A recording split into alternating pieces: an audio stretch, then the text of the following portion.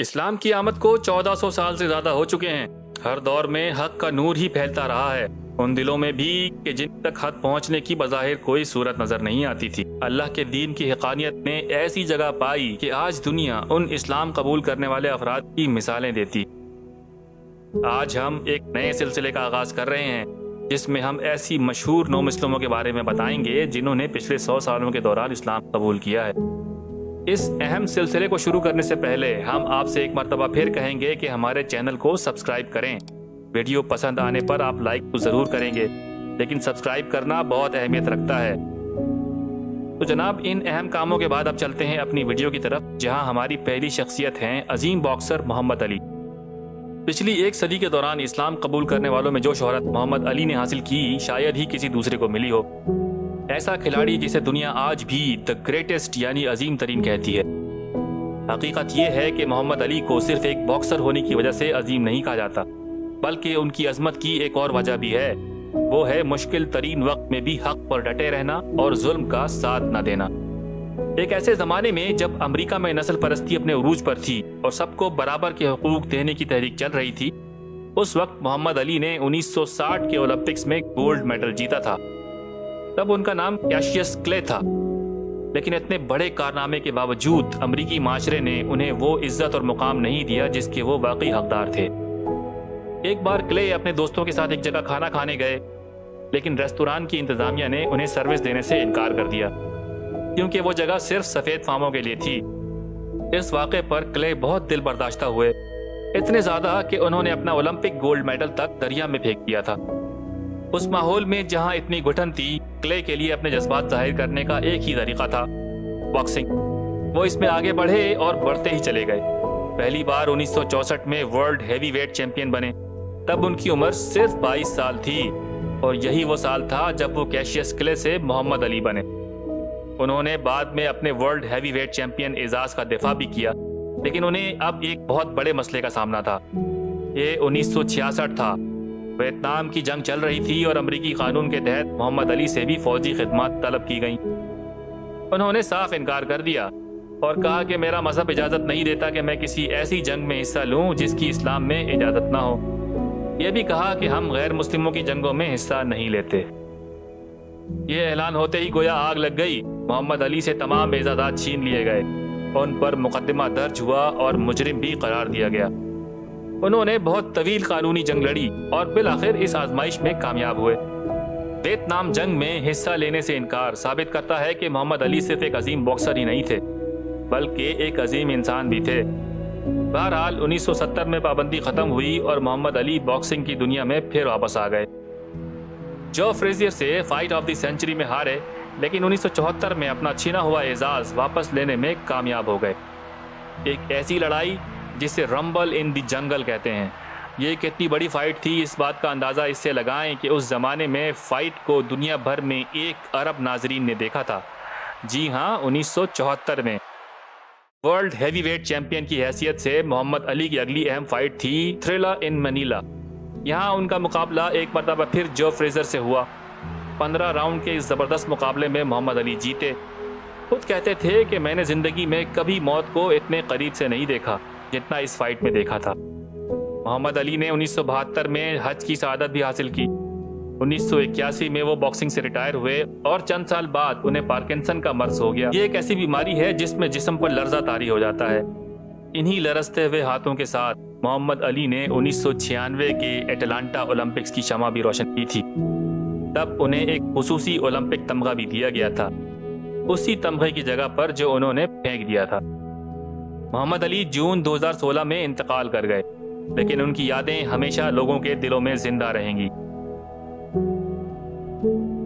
पिछले सौ सालों में एक नौ मुस्लिम ने बहुत शोहरत हासिल की। दुनिया उन्हें जानती है मेलकम एक्स के नाम से।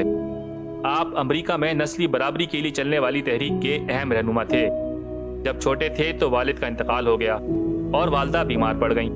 हालात ऐसे थे कि गलत सोबत में पड़ गए और फिर ऐसा हुआ कि एक जुर्म में पकड़े गए। दस साल कैद की सज़ा मिली। लेकिन अच्छे अखलाक की वजह से पाँच साल बाद रिहा कर दिए गए, लेकिन इस कैद ने उन्हें मुकम्मल तौर पर बदल दिया था। कैद ही में उनका तारफ़ एक तंजीम नेशन ऑफ़ इस्लाम से हुआ। ये अजीब व गरीब नजरियात रखने वाली एक तंजीम थी, लेकिन अपना ताल्लुक इस्लाम से जोड़ती थी और सियाह फामों के हकूक के लिए आवाज़ बुलंद करती थी। मेलकम एक्स की तकरीरी सलाहियतें वैसे बहुत ही कमाल की थीं। अपनी इसी सलाहियत की वजह से वो जल्द ही सियाह फामों के हकूक की नुमाया आवाज़ बन गए.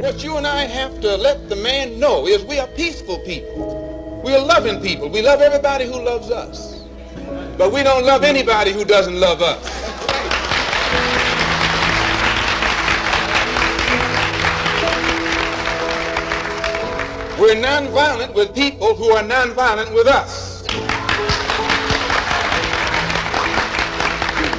We, but we are not nonviolent with anyone who is violent with us. कि नेशन ऑफ़ इस्लाम की गलत नजरियात की वजह से वो उनसे दूर होते चले गए और बिलाखिर अलहदा हो गए। तब मेलकम ने इस्लाम को ठीक से समझना शुरू किया।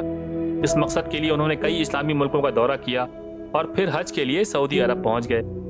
यहीं से उनकी ज़िंदगी मुकम्मल तौर पर बदल गई। उन्होंने अपना नाम मेलकम एक्स से बदलकर मालिकुल शहबाज रख लिया। और अब उनकी आवाज़ नस्ल परस्ती की नहीं, बल्कि इस्लाम की आवाज़ थी। मेलकम एक्स का यूँ अलग हो जाना, बल्कि मुखालिफ खड़े हो जाना, नेशन ऑफ़ इस्लाम को बिल्कुल पसंद नहीं आया। फरवरी 1965 में इस तंजीम के एक रुकन ने मेलकम एक्स को गोली मारकर कत्ल कर दिया। यूँ उन्हें शहादत की मौत नसीब हुई। अमेरिका में नस्ल परस्ती के खिलाफ तहरीक में सबसे बड़ा नाम मार्टिन लूथर किंग जूनियर का है, जो अदम तशद के कायल थे। लेकिन मेलकम एक्स उनसे बिल्कुल मुख्तलिफ़ नज़रियात रखते थे। हम कह सकते हैं कि मार्टिन लूथर किंग अमेरिका के गांधी थे और मेलकम एक्स को सुभाष चंद्र बोस कह सकते हैं।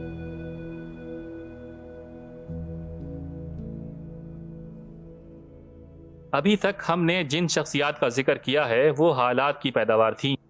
ज़िंदगी के किसी अहम और नाजुक मरहले पर उनका सामना इस्लाम से हो गया और उन्होंने इसका इंतखब किया और डट गए। अमेरिका में नस्ल परस्ती की वजह से सिया फामों पर आइडेंटिटी क्राइसिस यानी शनाख्त के बहरान ने जन्म लिया। नतीजा, मोहम्मद अली और मेलकम एक्स जैसे लोगों के मुसलमान होने की सूरत में निकला। लेकिन पिछली सदी में इस्लाम कबूल करने वाली एक शख्सियत ऐसी थी जो हालात के नतीजे में नहीं, बल्कि मुशाहिदे और इल्म की बुनियाद पर इस्लाम के करीब आई। ये थे अल्लामा मोहम्मद असद। आपका असल नाम लियोपोल्ड वेस था। ताल्लुक एक यहूदी ख़ानदान से था।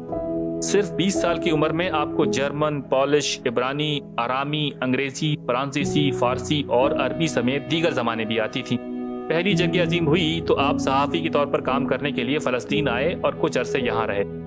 यहाँ मुसलमानों के अखलाक और तौर तरीक़ों से बहुत मुतासर हुए। यहाँ तक कि 1926 में इस्लाम कबूल कर लिया और अपना नाम बदल कर मोहम्मद असद रख लिया। ये कोई जज्बाती फैसला नहीं था। एक इल्मी शख्सियत होने की वजह से उन्होंने फैसला किया कि वो इस्लामी उलूम में अपनी महारत को बढ़ाएँगे। और ऐसा करके वो आलम इस्लाम की बहुत अहम इल्मी शख्सियत बनकर उभरे। मोहम्मद असद हिंदुस्तान भी आए और अल्लामा इकबाल से मुलाकात के बाद हिंदुस्तान में एक इस्लामी रियासत के ख्याल के हामी बन गए। तभी आपने मुस्तबिल की रियासत यानी पाकिस्तान के लिए काफ़ी काम किया। जब 14 अगस्त उन्नीस को पाकिस्तान आज़ाद हुआ तो मोहम्मद असद पाकिस्तान के पहले शहरी बने। जी हाँ पाकिस्तान का पहला कौमी पासपोर्ट मोहम्मद असद ही के लिए तैयार किया गया था। यूँ वो कानूनन पाकिस्तान के पहले शहरी बने। यानी वो इस शहर की ज़िंदा मिसाल थे, एक यही पहचान थी अपनी, इस पहचान से पहले भी। पाकिस्तान का शहरी था मैं, पाकिस्तान से पहले।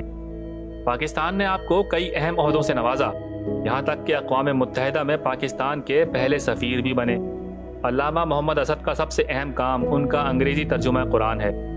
आपके तर्जुमा कुरान को मोहम्मद बकफाल और यूसुफ अली के तर्जुमे के साथ अंग्रेज़ी में कुरान का बेहतरीन तर्जुमा कहा जाता है। इसके अलावा आपकी आप बीती रोड टू मक्का बहुत मशहूर हैं।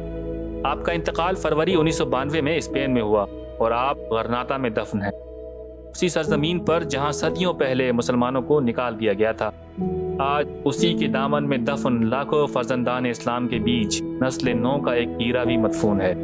अल्लाह सबकी मफफरत फरमाए, उनकी लफ्जिशों को माफ़ करे और उनके दर्जात बुलंद करे।